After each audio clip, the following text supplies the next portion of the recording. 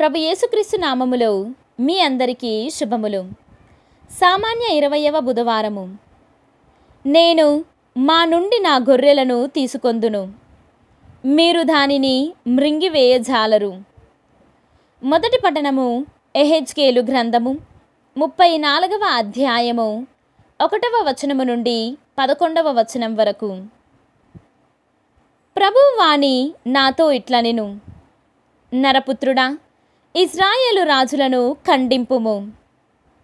యావే ప్రభుడనైన నా పలుకులను ప్రవచన రూపమున వారితో ఇట్లు చెప్పుము. ఇజ్రాయేలు కాపరులారా మీకు అనర్థము తప్పదు. మీరు మీ కడుపు నింపుకొనుచున్నారే కాని గొర్రెల మందలను మేపుటలేదు. మీరు గొర్రెల పాలు త్రాగుచున్నారు. వాని ఉన్నితో నేసిన దుస్తులు తాల్చుచున్నారు. వానిలో మంచి వానిని చంపి తినుచున్నారు. కానీ మందను మాత్రము మేపుటలేదు. మీరు గొర్రెలలో దుర్బలమైన వానిని పట్టించుకొనుటలేదు. రోగము సోకిన వానికి జబ్బు నయము చేయుటలేదు.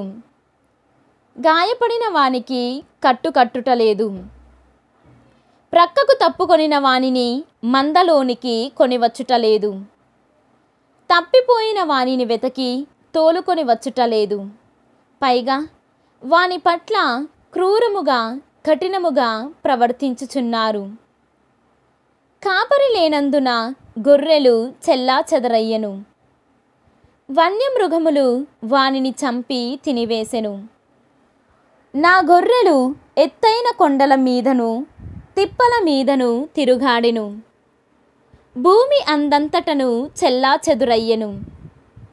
వానిని పట్టించుకొనువారు కానీ వెతకువారు కానీ లేరు. కాపరులారా మీరు ప్రభుడనైన నా పలుకులు ఆలింపుడు. సజీవుడను యావే ప్రభుడనైన నేను ఆనపెట్టి చెప్పుచున్నాను. కాపరి లేడు కనుక వన్యమృగములు నా గొర్రెల మీద పడి వానిని చంపి తినివేసెను. నా కాపరులను మందను వెతుకలేదు. వారు తమ కడుపు నింపుకొనుచున్నారే కాని నా మందను మేపలేదు. కావున కాపరులారా మీరు ప్రభుడనైన నా పలుకులు ఆలింపుడు. యావే ప్రభుడనైన నేను చెప్పుచున్నాను. నేను మీకు విరోధిని అగుదును. నేను మీ నుండి నా గొర్రెలను తీసుకొందును. మీరు ఇక మీదట వానిని మేపజాలరు. నేను మీ నుండి నా గొర్రెలను కాపాడుదును. మీరు వానిని మృంగివేయజాలరు. యావే ప్రభుడన నేను చెప్పుచున్నాను. నేనే నా మందను వెతికెదను. వానిని గూర్చి జాగ్రత్త పడెదను. ఇది ప్రభువు వాక్కు సర్వేశ్వరునికి వందనములు. భక్తి కీర్తన. ప్రభువే నాకు కాపరి నాకు ఏ కొదవయు లేదు. ఈనాటి సువిశేషము పునీత మత్తయ్య గారు వ్రాసిన సువిశేషము ఇరవయవ అధ్యాయము ఒకటవ వచనము నుండి పదహారవ వచనము వరకు. పరలోక రాజ్యము ఈ ఉపమానమును పోలియున్నది. ఒక యజమానుడు తన ద్రాక్ష తోటలో పనిచేయుటకు పనివారలకై ప్రాతకాలమున బయలుదేరెను. అతడు దినమునకు ఒక దినారము చొప్పున ఇచ్చదనని కూలీలతో ఒప్పందము చేసుకొని వారిని తన తోటకు పంపెను. తిరిగి ఆ యజమానుడు తొమ్మిది గంటల సమయమున బయటకు వెళ్ళి సంత వీధిలో పని కొరకు వేచియున్న కొందరును చూచి మీరు నా తోటకు వెళ్ళి పనిచేయుడు తగిన వేతనమునిచ్చెదను అనెను. వారు అట్లే వెళ్ళిరి. తిరిగి పన్నెండు గంటలకు మరలా మూడు గంటలకు ఆ యజమానుడు అట్లే మరికొందరు పనివారిని పంపెను. రమారమి ఐదు గంటల సమయమున వెళ్ళి సంత వీధిలో ఇంకను నిలిచియున్న వారిని చూచి మీరు ఏలా దినమంతయు పనీపాటు లేక ఇచ్చట నిలిచియున్నారు అని ప్రశ్నించెను. మమ్మెవరు కూలికి పిలవలేదు. కనుక మేమిచ్చటుంటిమి అని వారు ప్రత్యుత్తరమిచ్చిరి. అంతటా ఆ యజమానుడు అట్లయినా మీరు కూడా నా తోటలో పనిచేయుటకు వెళ్ళుడు అనెను.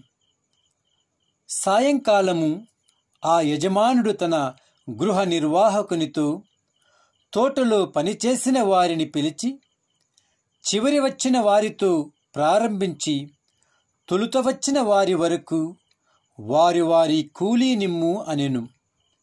అట్లే ఐదు గంటలకు పనిలో ప్రవేశించిన వారికి తలాకొక దినారము లభించెను.